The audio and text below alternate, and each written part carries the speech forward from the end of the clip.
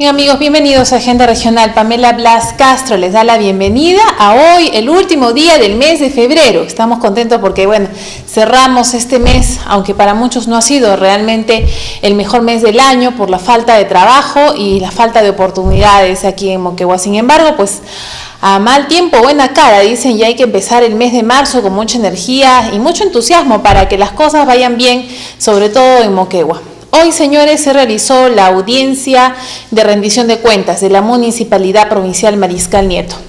Entrevistamos nosotros a través de Radio Expresión al gerente de planificación y presupuesto, al señor Vicente Cori, quien nos indicó que el saldo balance del año 2013 es de 45 millones para este año de los cuales 30, 32 millones están separados para la obra de agua y desagüe para Los Ángeles. Pero se entiende que este año solo se ejecutará a razón de 10 millones y esta obra continuará para el siguiente año, por lo que este recorte del canon minero ha afectado muchísimo a la municipalidad, indicando, señores, que han presentado proyectos al Ejecutivo y que hasta el momento no tienen respuesta para ser financiados. Y recordemos lo que dijo el presidente Ollanta Humala, que este recorte del canon no iba a afectar porque el Ejecutivo iba a inyectar recursos a las municipalidades previa sustentación de proyectos. Ustedes han visto seguramente a través de los canales nacionales toda la convulsión social que ha sucedido en Ancash, una movilización masiva donde la gente salió a protestar a las calles y a pedir la reposición de su canon minero. Y Ancash tiene más cantidad de canon que Moquegua y la población ha reaccionado frente a este recorte. Aquí en Moquegua no entendemos quizás la pasividad de muchos dirigentes o de la sociedad civil de no ver que este recorte del canon sí está afectando a muchos proyectos importantes de Moquegua. Sin embargo, si es que no acuden al Ejecutivo, pues varios proyectos se verán eh, simplemente en los sueños, se quedarán en la esperanza, pero no se ejecutarán. Por eso es que es importante que una sociedad civil esté bien organizada, bien empoderada y también bien representada por parte de sus dirigentes.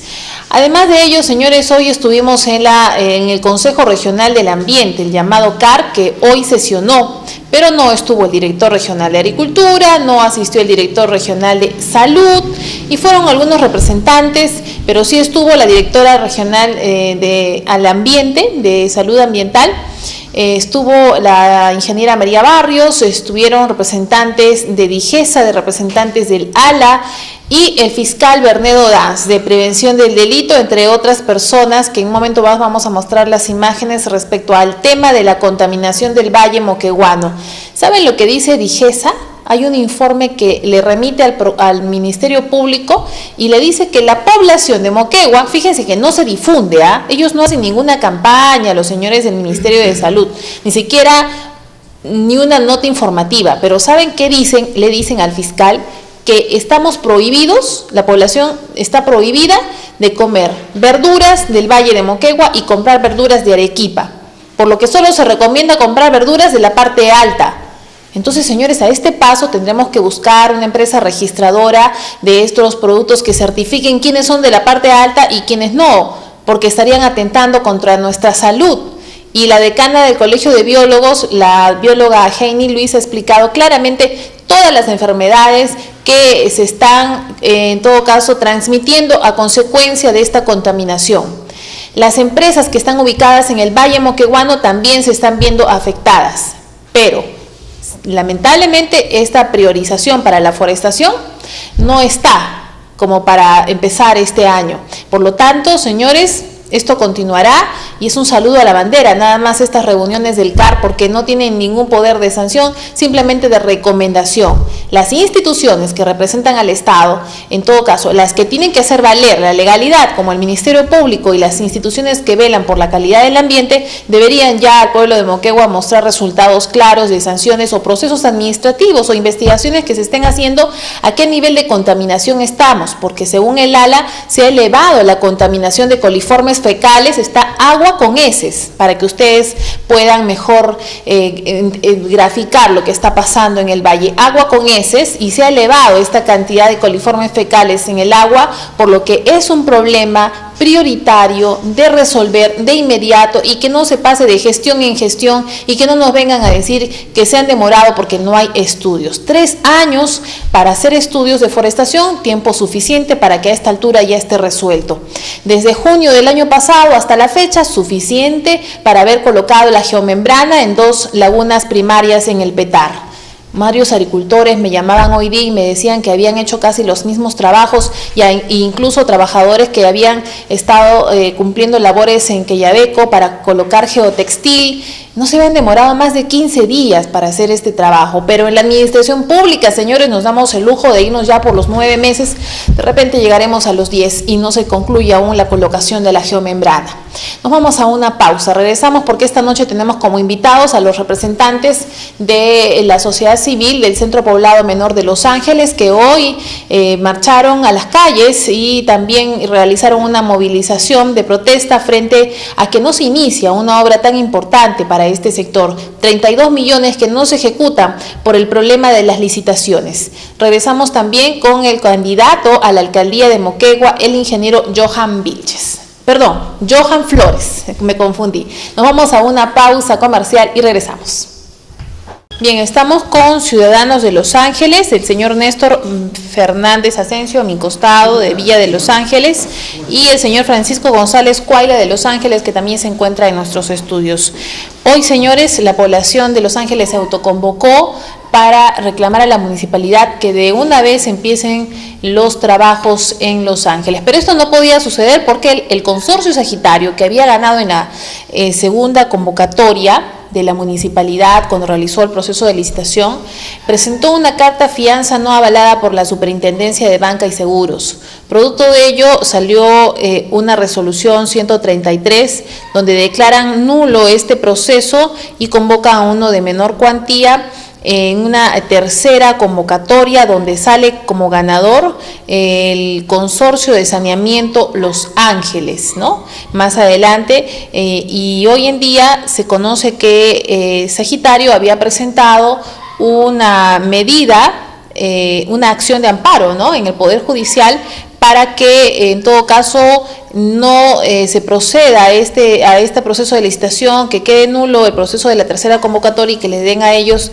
la modalidad de, contratar con la municipalidad, avalándose en una carta fianza que según ellos estaba pues bien, bien dada legalmente. Sin embargo, hoy los ciudadanos de Los Ángeles se han reunido con el alcalde en horas de la tarde y concluyó esta reunión aproximadamente a las 6 de la tarde y tenemos aquí los resultados de los ciudadanos que nos acompañan esta noche. Muy buenas noches, señor.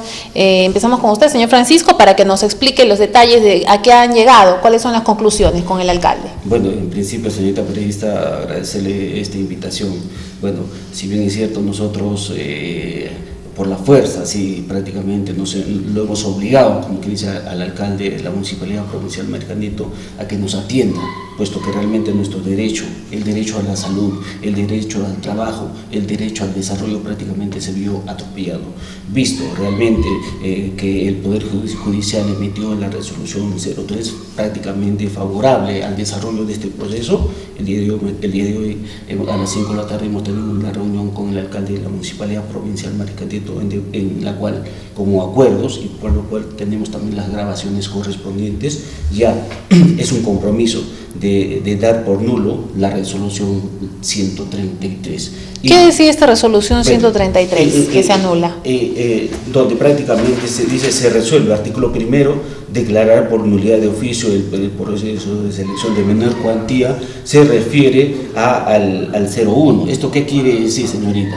la empresa del consorcio de saneamiento Los Ángeles prácticamente lo declaraba nulo y del mismo modo en el artículo segundo dice retrotraer el proceso de, de adjudicación hasta la etapa de convocatoria. ¿Y cuáles eran los fundamentos? ¿El pronunciamiento del Poder Judicial? Sí, en efecto, ¿no? Eh, eh, prácticamente... El orden, la orden del juez. Claro, es, claro, se, se, basa prácticamente en lo visto, es el informe 120 presentado por asesoría jurídica y basado en, en la resolución 01 emitida por el Poder Judicial. Y el Poder Judicial ahora ha cambiado de opinión. ¿Qué es lo que ha hecho el Poder Judicial hoy en horas de la tarde? Es... Eh, eh, es algo contradictorio, un 01 que es contra, contradictorio y atentatorio al desarrollo y a la salud eh, de, nosotros, y para otro día emite la resolución 03, donde prácticamente la medida cautelar emitida por el Poder Judicial, por el, por el juez correspondiente, deja sin efecto, y por lo tanto todo lo actuado de parte de tanto el Poder Judicial eh, y, la Municipalidad Provincial Marquentino quedaría sin efecto, y, en consecuencia prácticamente nosotros los vecinos no estamos, estamos como quien dice expeditos para en lo posterior se desarrolle esta obra de saneamiento que nosotros la recibimos con beneplácito y, y anhelamos después de, eh, de 6, 7 y 8 años. Claro, independientemente de quién va a ejecutar esta obra, el problema era el que se generaba a partir de una resolución judicial que paralizaba todo acto eh, y que ustedes tenían que esperar a que todo este proceso concluya en el Poder Judicial. Sin embargo, el Poder Judicial se ha enmendado, el error en todo caso, al enmendar este tema y emitir otra resolución dejando nulo todo lo actuado, en todo caso toda la, medida cautelar donde ellos le daban a favor del consorcio sagitario, con esto ya es un punto a favor de la población de, Los Ángeles. Esto quiere decir que el consorcio de saneamiento Los Ángeles le ha quedado el camino expedito para poder ya realizar esta obra. Eh, sí, eh, señorita Pamela, sí en parte. Esperamos. ¿Cómo que sí en parte? ¿Por qué es la parte? por qué? Porque si, bien es cierto, el compromiso aún del alcalde eh, está todavía en pie. ¿Sabe por qué? Porque todavía falta, falta que anule esta resolución, la 133, ya prácticamente en estos momentos el, asesor jurídico ya seguramente ya, ya lo redactó al 100% y el día de mañana sábado estaría emitiéndose el acto resolutivo y el es un compromiso ya y el día martes, el día lunes estaría notificando a, las, a las entes correspondientes, me refiero a logística y, y a las entidades, para que en lo posterior también entre, lunes y martes se, se, firme, el contrato. correspondiente para el ganador. Claro, y ahora para que se firme este contrato, este consorcio de saneamiento de Los Ángeles tendrá que entregar la carta fianza correspondiente también. Eh, según hemos estado conversando con con algunos vecinos, con el mismo alcalde de Los Ángeles, ellos ya, estaría, ya prácticamente cuentan con, o estarían contando con la, con la carta fianza que prácticamente... ¿De un banco? no, efectivamente. Por o sea, ¿tiene la solvencia económica para hacer esta obra? Efectivamente, según, nuestro, nuestro, alcalde, nos indicó que sí cuenta con respaldo de una, de una entidad financiera respaldada por la Superintendencia de Banca y Seguros. ¿Qué opina el señor Néstor Fernández de todo lo acontecido hasta el día de hoy? Ustedes tomaron la decisión de salir a las calles. Buenas noches. Sí, muy buenas noches, señorita Pamela, y muy buenas noches también a, los vecinos del Centro Poblado de Los Ángeles. Sí, pues este, nosotros eh, muy preocupados eh, a raíz de todo este entrampamiento que ha venido, eh, que ha generado prácticamente la misma municipalidad provincial, señorita Pamela. Eh, a través de, asesoría legal y eh, pues nos hemos visto afectados eh, con, esta, este, con esta acción de amparo que ha presentado el consorcio Sagitario. felizmente ha llevado a buen puerto.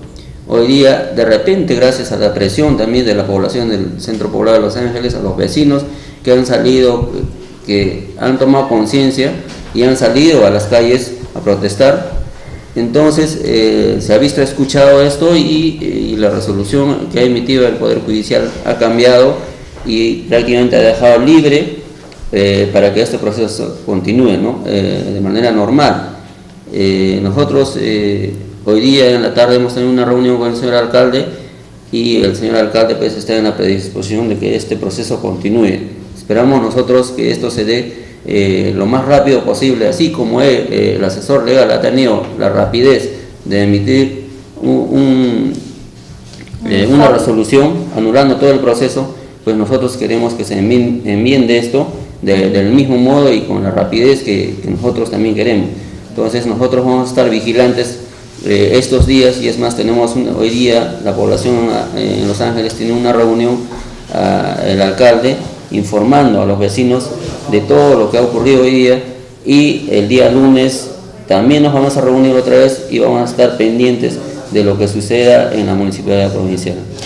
Correcto, señor Francisco González. Entonces, satisfecho con el tema eh, eh, que ya se logra que finalmente se haga esta obra, hay una esperanza, entonces una puerta que se abre, allí una luz en el camino frente a una turbulencia que se presentaba de entampamientos legales y problemas administrativos, y echa la ley, echa la trampa, y en realidad se trataba de 32 millones y una obra que, ¿cuántos años han tenido que esperar, señor Francisco? Bueno, en sí realmente son alrededor de siete u ocho años que prácticamente eh, el, pueblo de Los Ángeles anora, sueña, así, sueña tener esta obra, porque a través del desarrollo de, este, de, esta obra, señorita periodista, Los Ángeles estaría mejorando su calidad de vida. ¿Cómo es la situación actualmente, el sistema de agua y desagüe en Los Ángeles? Mire, hoy en día la captación es directamente del río simple y llanamente a través de, las tuberías es trasladada a un reservorio y en el reservorio simple y llanamente se le echa en épocas de,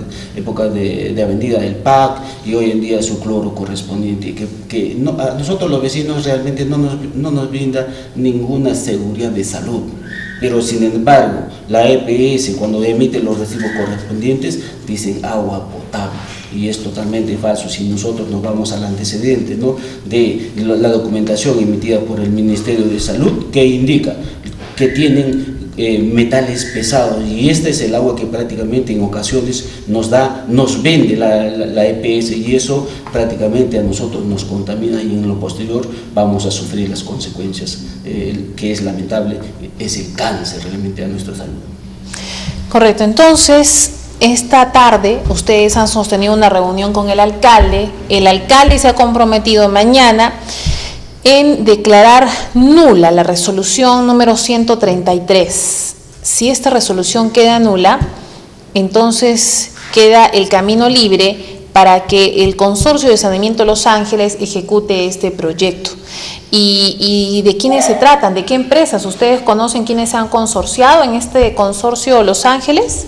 Bueno, eh, eh, sí, señorita periodista, puesto que nosotros somos los seguidores, ¿no? todo el equipo sabe, bueno, estamos hablando de, multiobras y contratistas generales, Durantía y Rodríguez Morovejo prácticamente serían los, los, los, integrantes de este consorcio de saneamiento Los Ángeles, ¿no?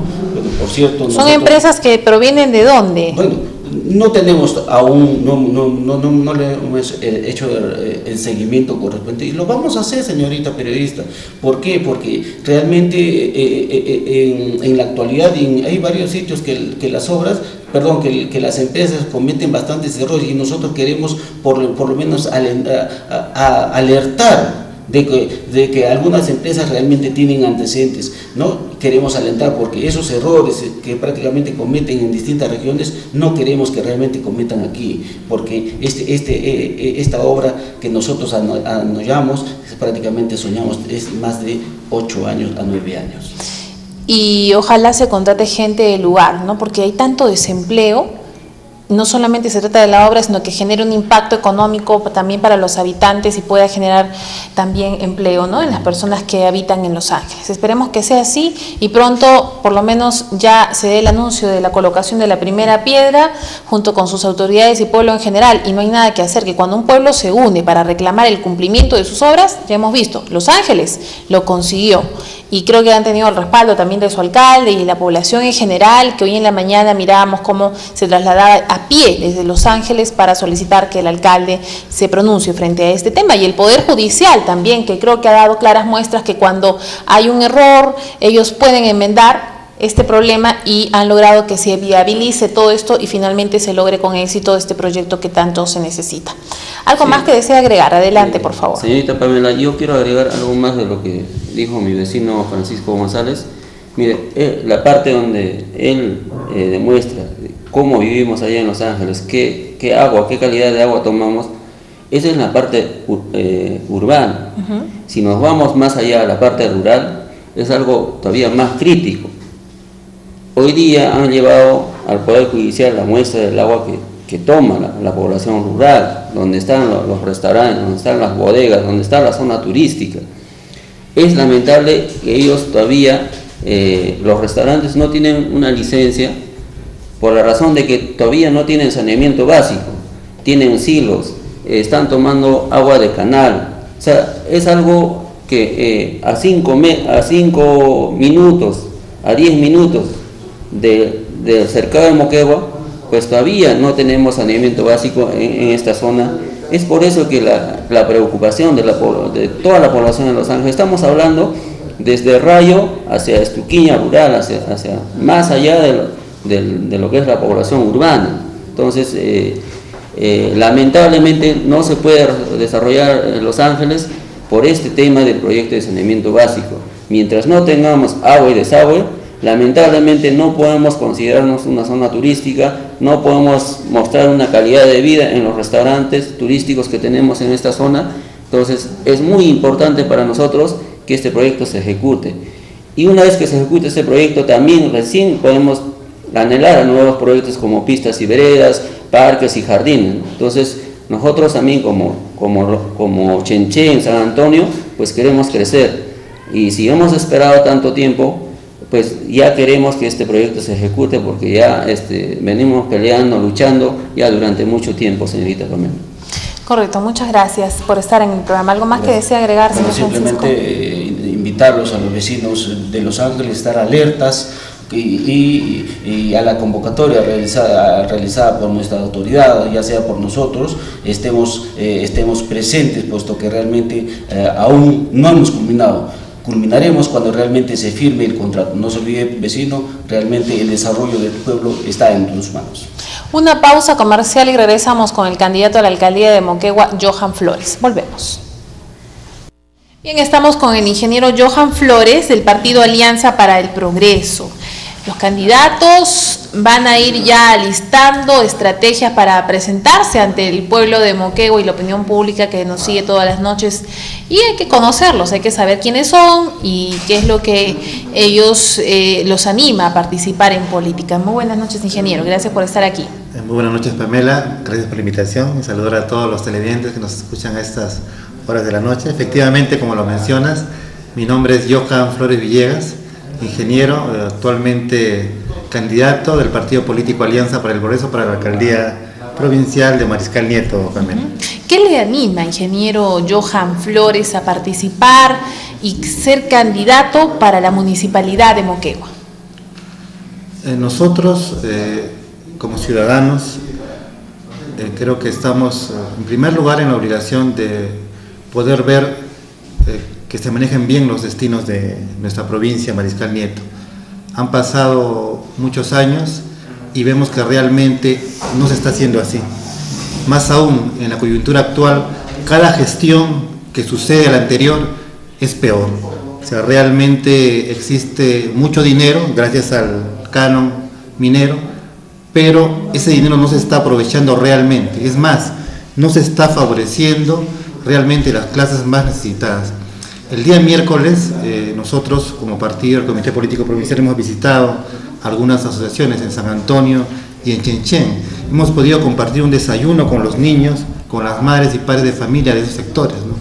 Y no es posible que una región como Moquegua, en una provincia como Moquegua, que tiene tanto dinero, niños estén caminando y comiendo polvo. Más de 20 niños en la sesión 26 de julio que si bien recuerdan los moqueguanos, hace algunas semanas atrás sufrió un incendio y muchas familias perdieron sus enseres y todas sus cosas. ¿no? es posible que en una región tan millonaria estos niños estén ahí, sin educación, las madres de familia eh, en extrema pobreza. ¿no? Vamos a Chenchen, a la asociación eh, Villa Jerusalén Ampliación 1, el mismo panorama. ¿no? ¿De qué estamos hablando? De que realmente las autoridades que tenemos en Moquegua no se estén preocupando verdaderamente por el desarrollo sustancial de Moquegua, que es el desarrollo humano. ¿no? Así es. Bueno, ahí se está acrecentando entonces los niveles de pobreza en Moquegua. ¿Se está, está creciendo este porcentaje, esta estadística? Si uno va, y sería bueno invitar a las autoridades de hoy que caminen, ¿no? Que vayan a, San Antonio y visiten las asociaciones, que conversen con los padres de familia, con los madres y vean los niños cómo están, que vayan a Chenchen, que vayan a Samegua y que igualmente visiten Carumas, Cuchumbay y San Cristóbal. El día miércoles nosotros eh, tenemos reuniones, se ha reunido el equipo técnico de, justamente que está impulsando nuestra candidatura y entre todos los análisis, Pamela, por ejemplo, una enfermera que es miembro del equipo técnico nos manifestaba, ¿cómo es posible de que en Moquegua, con tanto dinero, se está incrementando, Pamela, los porcentajes de anemia de niños menores de 3 años. ¿Qué quiere decir? Que no se está nutriendo bien a los niños. ¿De esto saben actualmente las autoridades de Moquegua? Habría que preguntar. O sea, en Moquegua existe un sector poblacional que se está beneficiando de repente de los recursos, que es muy, muy pequeño, pero hay un gran sector poblacional que no lo está haciendo. ¿Por qué razón? Porque las autoridades no tienen una visión de desarrollo consensuada y compartida que pueda realmente permitirnos elevar los niveles de calidad de cada uno de los ciudadanos. crece la brecha, crece la brecha, señores, entre los que más tienen y los que menos tienen. El problema está que los que están arriba es un grupito nada más y los que están abajo es la mayoría de la población. Y es allí cuando nos preguntamos para qué ha venido el canon minero. Así es, ¿no? Imaginémonos eh, si es que desapareciera el canon minero, ¿cómo quedaría Torata? ¿Cómo quedaría, cómo quedaría Moqueo? Actualmente inclusive algunas, escuchamos a algunas autoridades que dicen, nos falta dinero, pero preguntémonos, ¿qué están haciendo con el dinero que actualmente están manejando? No estamos hablando de 10, ni de 20, ni de 30 millones, Pamela. recibimos canon minero desde el año 2003. Son más de 3 mil millones de soles que ha recibido Moquegua. ¿Dónde está ese dinero? Habría que preguntarse. Existen muchos grados de corrupción. ¿Quién lo tendrá? Presuntamente lo pueden tener algunos jueces de repente, ¿no? que se benefician por cuestiones eh, legales, de repente algunos dirigentes, de repente algunos eh, periodistas, la misma población, el grupo élite que está manejando los recursos del Estado, los destinos de Moquegua, pero caminemos realmente y preguntemos a la madre de a pie, al padre de a pie, al joven de a pie, si realmente está recibiendo estos beneficios. Y, la, y, la, respuesta es no, Pamela. por esto, la respuesta es no. Usted ha conversado con la gente y le ha dicho que no se benefician del canon. No, Ayer mismo, eh, después de invitar a un dirigente, paré a comer una salchipapa a las 11 de la noche en Camino a San Antonio, conversaba con las niñas y me decían, ingeniero, realmente estamos hartos de que Moquegua tenga tanto dinero y que nosotros no nos estemos beneficiando. Mi esposo, que, lo, está a su lado, no tiene trabajo. Tengo, ¿Qué tengo que hacer? Toda la noche vender a casa chipapa y me daba cuenta que antes había una. Y ahora hay cinco señoras en el mismo sector vendiendo ¿Qué opina de los candidatos que hoy en día están en este camino político, eh, ya en este trote, diríamos, porque ya están en marcha en la política, eh, de algunos que ya han sido alcaldes, autoridades? En principio estamos en un país eh, democrático donde todo ciudadano puede hacer política y participar. Yo considero de que muchos ciudadanos creen tener la capacidad y potencialidad para hacerlo y está bien que participen. Pero vemos asimismo que en Moquegua y a nivel nacional hace falta de liderazgos. No se, está no se está promoviendo nuevos líderes y fundamentalmente líderes que quieran servir y no servirse del pueblo.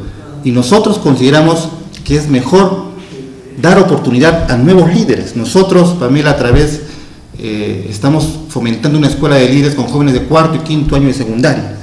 ¿Por qué? Porque sabemos que ahí está la materia que tenemos que trabajar. Si realmente queremos líderes en Moquegua que trabajen por el desarrollo de Moquegua, no por su beneficio propio, tenemos que trabajar justamente en ese sector. Y a tu pregunta, la respuesta es, considero que las personas que ya, ya gobernaron han demostrado lo que podían hacer y deben dar paso a nuevas generaciones, a nuevas personas que realmente quieran servir el desarrollo de los destinos de Moquegua. Así es, los jóvenes es la materia prima que se necesita para generar industria, para generar desarrollo, pero hay una debilidad ahí. ¿Dónde están los jóvenes? ¿Dónde están los líderes de esas organizaciones juveniles? ¿No cree que también ya es momento donde ellos participen y puedan salir a los medios? ¿O es que hay algún temor de no salir a través de los medios? Porque yo también eh, escuchaba esto de algunos profesionales indicando que si es que salían a política, ellos eh, iban a manchar su imagen, de pronto los iban a criticar, pero creo que todos podemos colaborar para elevar el nivel del debate, ¿no? Y allí poder todos participar, pero debatir con ideas y sobre todo ustedes que son los candidatos, eh, recoger las propuestas que tiene el ciudadano de a pie, porque es allí cuando a veces ellos dan la, la respuesta a las soluciones. No esos gobernantes que están sentados pues en sus asientos y no salen a ver la realidad, ¿no? Creen que todo está bien, sus asesores les dicen que todo es maravilla, las franelas van y vienen, y eso es un error. Los jóvenes eh, realmente son los, eh, digamos, son la esperanza, no solo de Moquegua, sino también del, del Perú. Corresponde a las autoridades, en primer lugar, darle las facilidades para que estos jóvenes puedan manifestarse públicamente.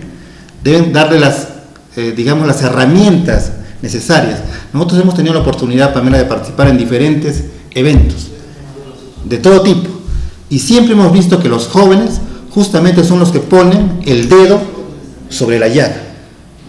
Y le dicen a las autoridades o a los, funcionarios las cosas como son. Y creo que eso es algo que tenemos que rescatar. Una breve anécdota de algunos dos años atrás que estuve en un evento en el gobierno regional, los jóvenes decían, ¿cómo es posible, le dijeron a unos funcionarios del gobierno regional, de que ustedes no se preocupen por la defensa del medio ambiente? Cuando está estipulado en la Constitución y en la ley orgánica y más aún en su reglamento funcional, que deberían tener un equipo técnico para que defienda y por lo menos conozca lo que está sucediendo con el medio ambiente en Moquegua, ¿no? Y en esa oportunidad, Pamela, los funcionarios no tuvieron cómo responderle a jóvenes que ni siquiera habían terminado la universidad aquí de la ciudad de Moquegua. En esa perspectiva creo que corresponde a nosotros, nosotros estamos trabajando con esta escuela de líderes, también tenemos un comité político juvenil y lo estamos impulsando, porque sabemos que de repente ahora somos nosotros, pero más adelante tienen que ser ellos los que tomen la batuta y las riendas de la política de Moquegua. Y eso no estamos viendo en Moquegua, Pamela. Tenemos personas que ya han gobernado y todavía quieren la re, re, re, re, reelección. Y eso no debería ser. O sea, uno debe gobernar y hacerlo bien y de ahí dejarle el paso a las nuevas generaciones y debería enseñarle con la experiencia que ha aprendido para que ellos no cometan los errores que uno cometió.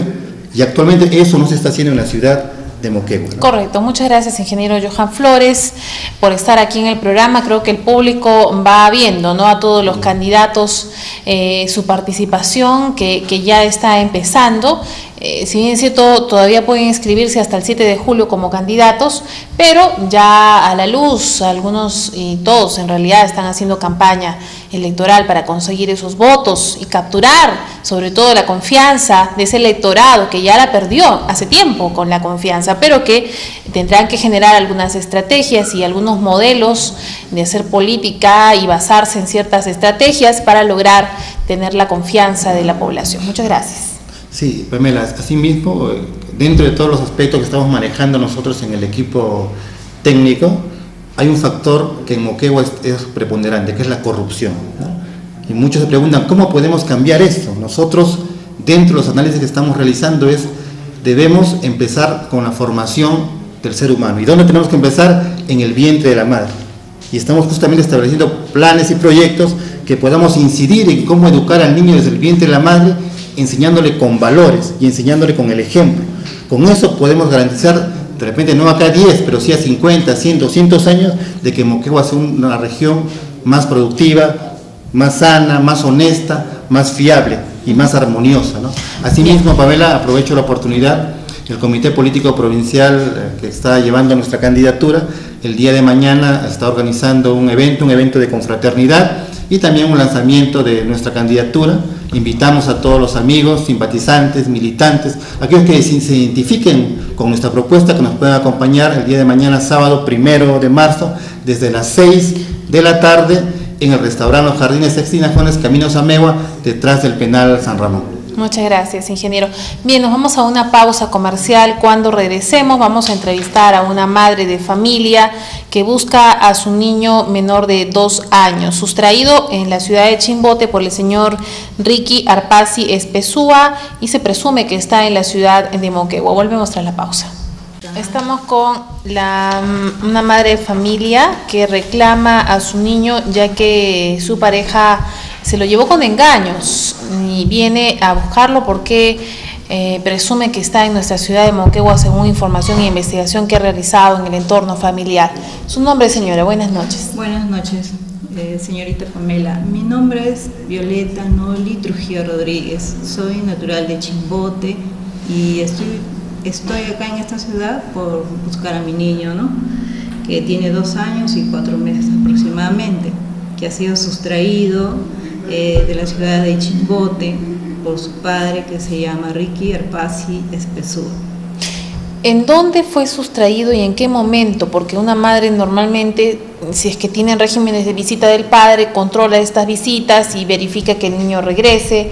En todo caso, ¿qué le ordenó el juez al padre de familia? Lo que pasa es que eh, nosotros siempre, usted ha visto alguna familia que haga un régimen de visitas, solamente se hace cuando hay un problema judicial. Y en ese momento no había problema judicial porque siempre acordábamos de palabra, yo confiaba en su palabra y él en la mía, entonces de traer o de llevar a mi niño, que es en la ciudad de Huaraz, porque normalmente él vive allá. Entonces él lo llevaba, lo traía, siempre había cumplido. Hasta la última fecha que en el mes de diciembre, en la última Navidad, fingió por cuatro días, lo, ya lo había tramado porque incluso él me lo ha asegurado que todo estaba planeado.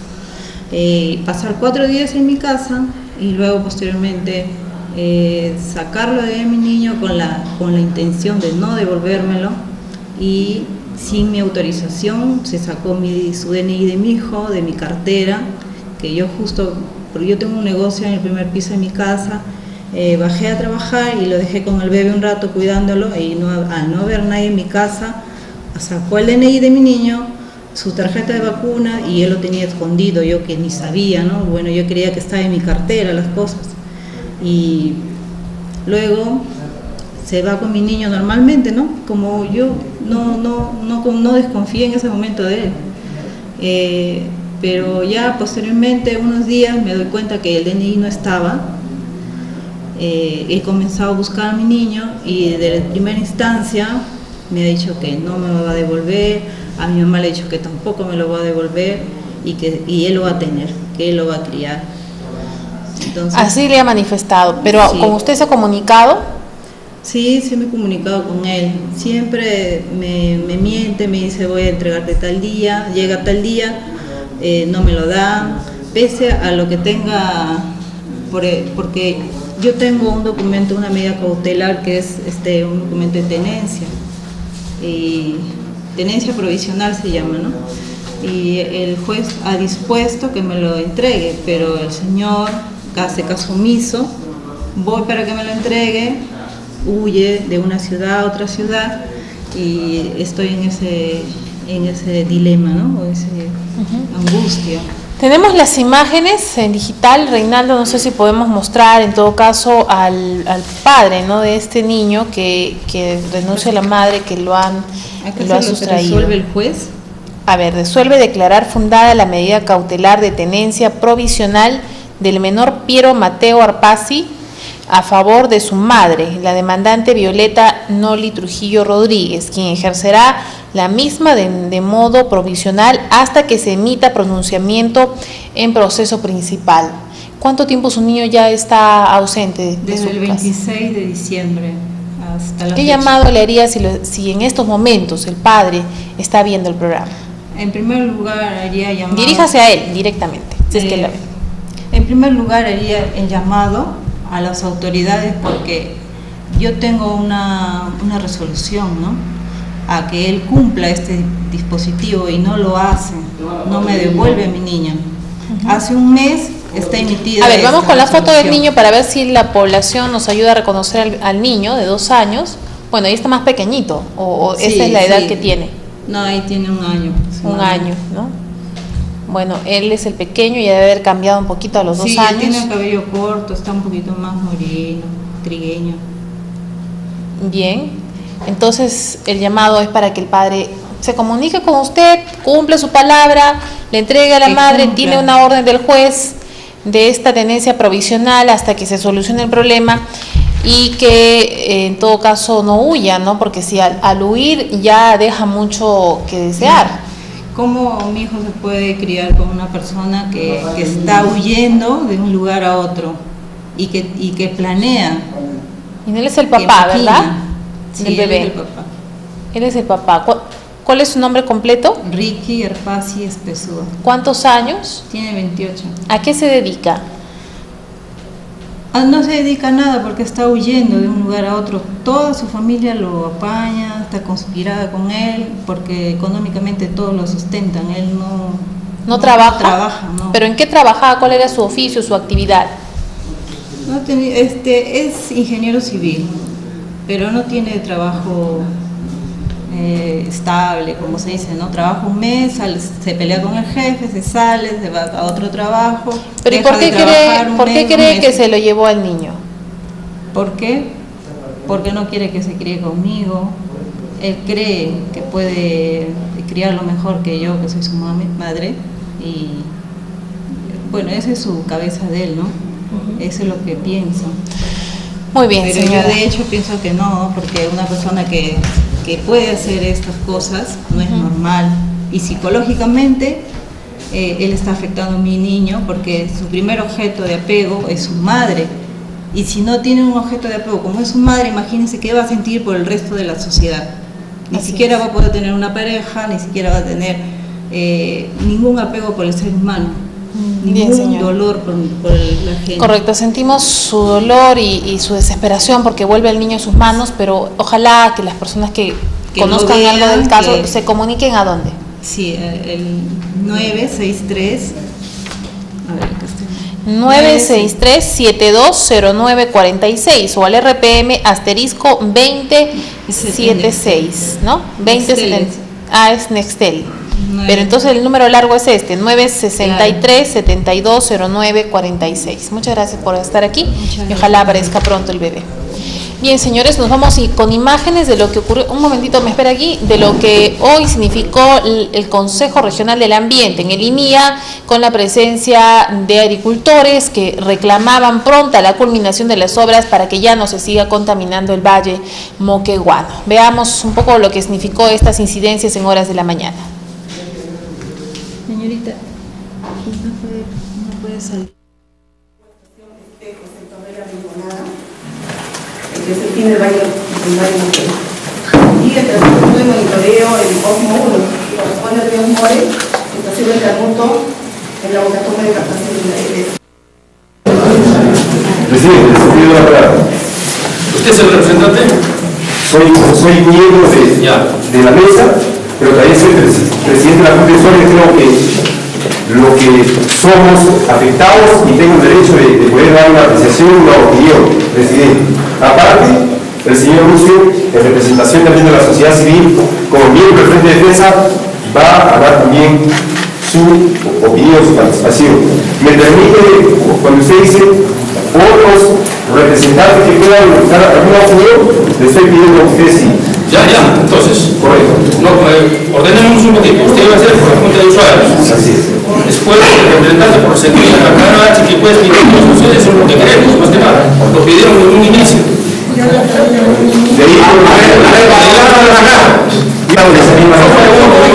uno que resuma todos los problemas, uno solo. Sí, perdón. Hacer el resumen. Gracias, presidente. Vamos a sacar el tema al toque más. Hay una solución mientras no se pongan mayor operativa las lagunas de, de, del cuál es la solución que, se quiere y esa respuesta se requería de responsables de la EPS. Entonces creo que el día de hoy tenemos que sacar una solución a este problema. Eh, quiero remarcar que cuando el representante de vivienda señala de que hay algunos agricultores que no quieren que se lleven las aguas, eso es totalmente falso. Nosotros tenemos suficiente agua de pastorable, el problema es que ¿cómo hacemos uso del agua de pastorable que dispone por el río Moquegua si está la, presencia de las aguas que salen de la laguna de casa? Entonces, no se puede usar las aguas limpias, ese es el problema, y, por lo tanto no es correcto decir que algunos agricultores se oponen a que se lleven esas aguas a, las lagunas del de Eso es falso. Desde el año, hemos escuchado, desde el año 2002 se tomó la decisión de que de una vez se trabaje el proyecto para trasladar las aguas servidas de Yaracachi a uno. ¿Cuántas gestiones han pasado? ¿Y por qué se tiene temor a denunciar a los responsables, a los funcionarios, a la autoridad, que se han gastado tantos millones de soles y hasta la fecha no hay resultados positivos. ¿Por qué? Porque si cuando estuvo el, el profesor Zamocho anunciaba que en su periodo iba a terminarse ese proyecto, luego en esta gestión, y de igual manera han pasado tres años y todavía no se puede, hay responsabilidad. Y por cómo va a actuar en ese sentido la, Fiscalía, eh, creo que es un aspecto importante porque eh, si no se sanciona a los responsables, esto va a continuar y no se puede inmediatamente la solución. Siempre se señala, no hay presupuesto. ¿Cómo que no? Creo que este aspecto, este problema es de, necesidad pública, inmediatamente debe declarar su emergencia y por tanto no puede haber eh, la disculpa si no presupuesto. Creo que es un tema que también aquí en la, comisión eh, ambiental regional debemos tomar acuerdo que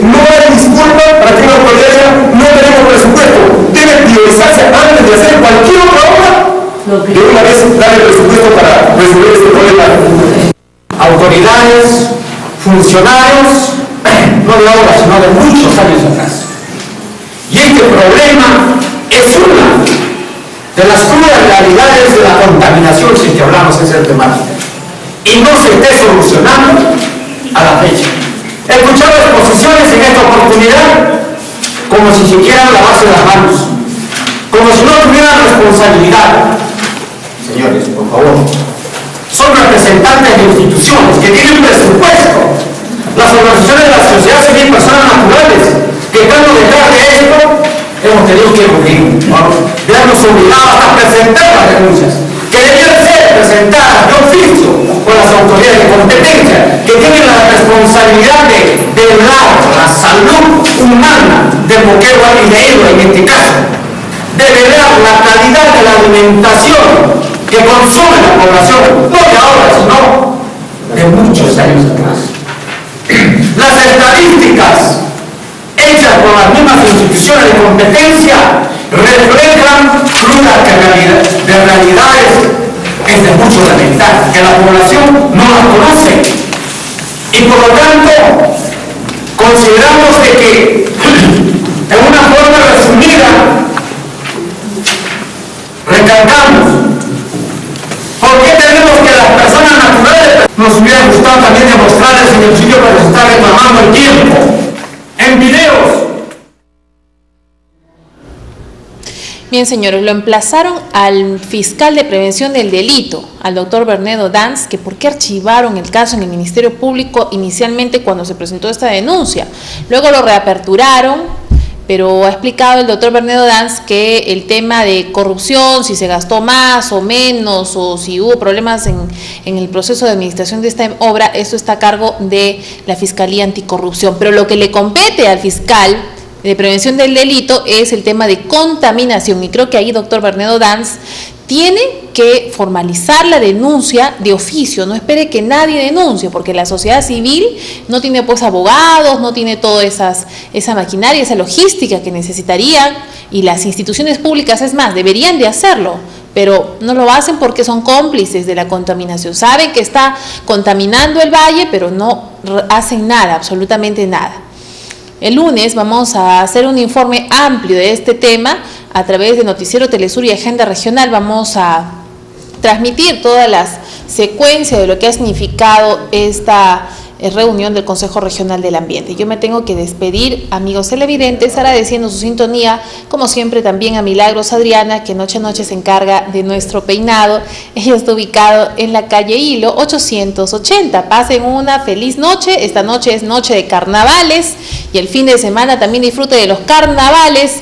Y un saludo especial a la gente de Matalaque, a la gente de Sánchez Cerro, porque hoy nuestro equipo de prensa estuvo en Guarina y gracias a Radio Melodía de Arequipa que bajó nuestra señal a través de internet y todo Arequipa se enteró del problema que estaba sucediendo en Matalaque, en Guarina, con su alcalde, que en algún momento impidió que ingrese nuestro equipo de prensa a la sesión de consejo que es pública y luego rectificaron su error y dejaron ingresar al periodista.